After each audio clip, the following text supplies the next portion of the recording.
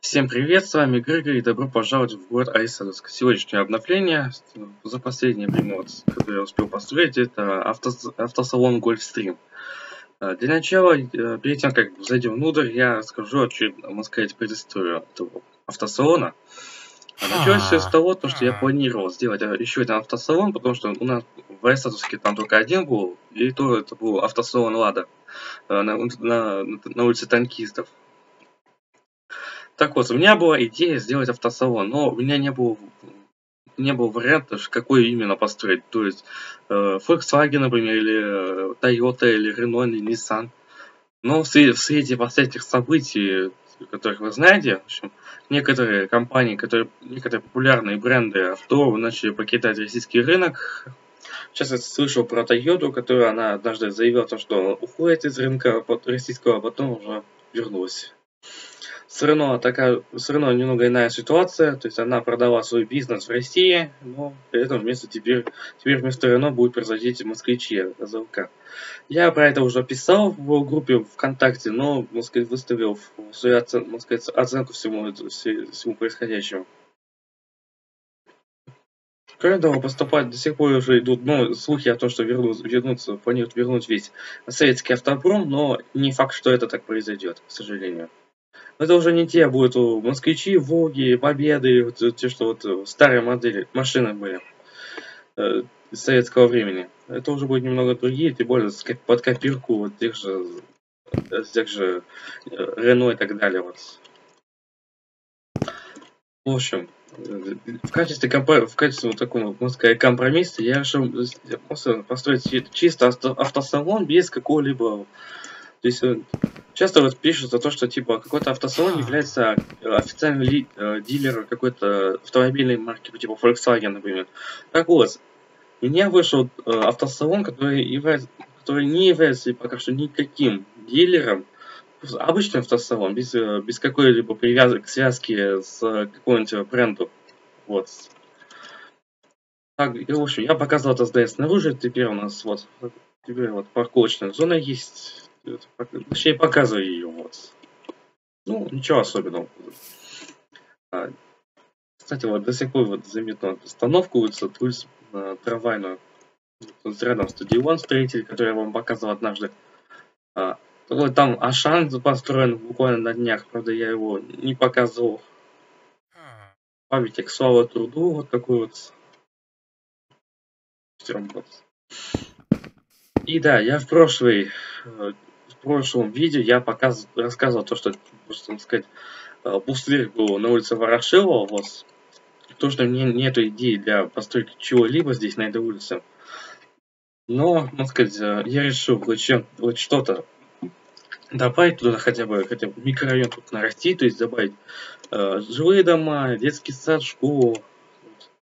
То есть хотя бы небольшой микрорайон нарастить, а там видно будет. Ладно, вернемся к автосалону. Автозон у нас такой вот, как я показывал ранее. Автозон и повторюсь, у нас он называется Гольфстрим. К слову, в Челябинске есть такой же автосалон, но он находится на улице Братьев Каширных, на северо-западе. Заходим. Тут у нас банкомат, также у нас инфо, всякая информация, то есть типа, типа уголок потребителя. Тут у нас э, нас сидит диль, э, сказать, продавец-консультант или дилер, честно говоря, не знаю. В общем, то есть мы договариваемся, типа, мы с ним договариваемся по покупку, например, по, насчет покупки авто или, например, оформления э, страхового, страхового полиса, типа ОСАГО, КАСКО и так далее. Дальше у нас такие вот машины, то есть представим. Это, это те, те варианты, которые я смог сделать в Майнкрафте. Вот самый первый вариант, типичный для меня. Так, общем, мы такое, наверное, видели в, в Якутске, правда, у правда, у меня было сделано из глазурованной керамики голубого цвета, а у меня э, из... Не обращайте внимания, это просто типичные звуки из Майнкрафта.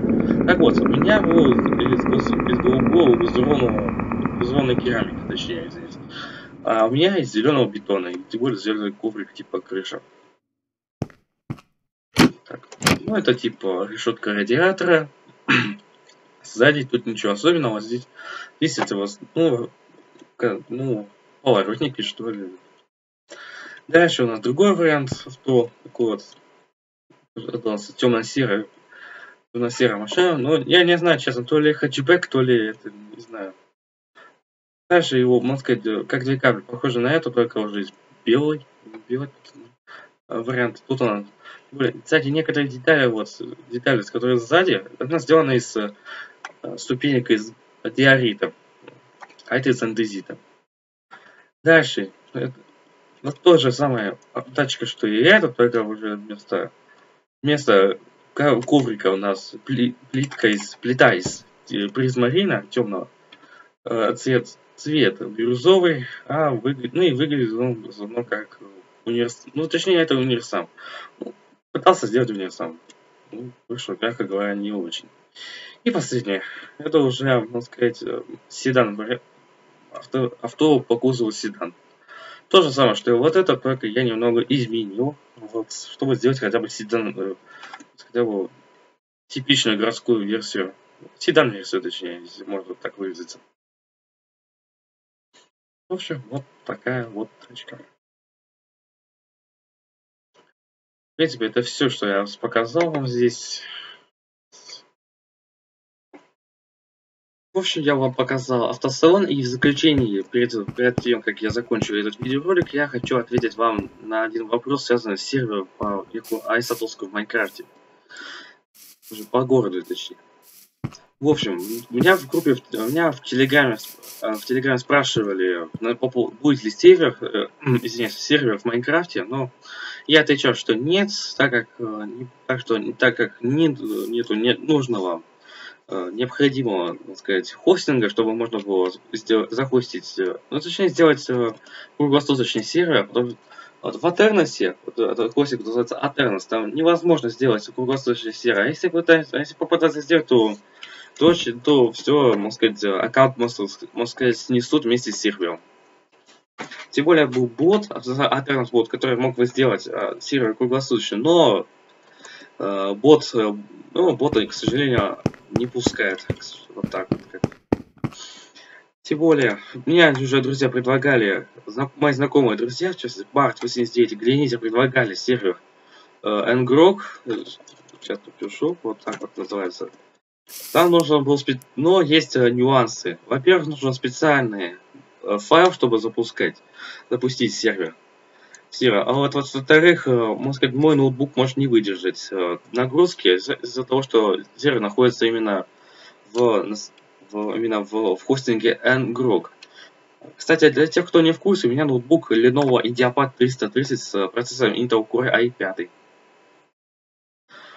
В общем, что могу... В общем, Могу вкратце сказать, что в ближайшее время сервера по Айсатуску в ближайшее время не будет, вплоть до разрешения данной, данной ситуации.